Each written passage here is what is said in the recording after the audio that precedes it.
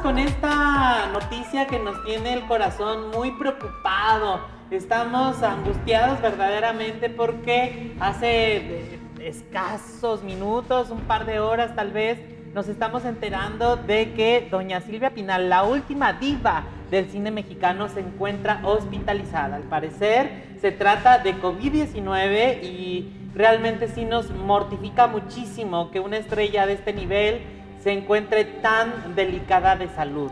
Claro que sí, más por la pérdida que aún tenemos muy reciente, por supuesto, de Carmen Salinas y Vicente Fernández. Alejandra Guzmán salió a informar precisamente que, el, que ese miércoles, el día de ayer, precisamente estaban hospitalizando a doña Silvia Pinal, actriz de 90 años que ingresó al hospital debido a una hipotensión, esta presión arterial baja. Ya se sabía desde hace algunos tiempos que ella había estado delicada de salud y había estado hospitalizada en varias ocasiones y se había descartado que fuera ella eh, estuviera contagiada de COVID-19. Lamentablemente ahora el panorama es distinto, se le hicieron las pruebas necesarias, se dice que se encuentra estable, pero aún así, por supuesto que sí nos mantiene alertas y deseamos de verdad que se recupere favorablemente muy pronto, porque sí, como tú lo mencionas, Alex, es la última diva de este cine tan maravilloso. Ay, un ícono de este país, mi Dalia. Claro que sí, afortunadamente a través de diferentes medios de comunicación se nos ha informado que sus signos son estables, que ella está consciente, que está bien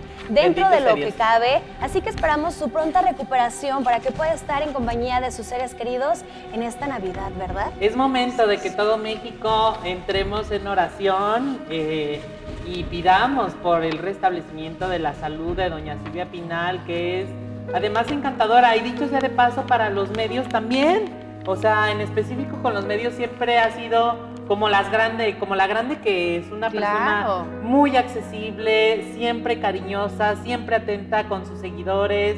Eh, así son los grandes, así, así es como nos gusta que traten a su público y ni hablar de toda la trayectoria que tiene, ¿no? ¿Quién no conoce a Silvia Pinal y quién no desea, como nosotros, que se recupere por completo en estos días? Claro que sí, le mandamos toda nuestra luz, toda nuestra buena vibra para que pueda superar pronto esta enfermedad, que por supuesto sabemos que ella siempre ha sido una mujer muy, muy fuerte.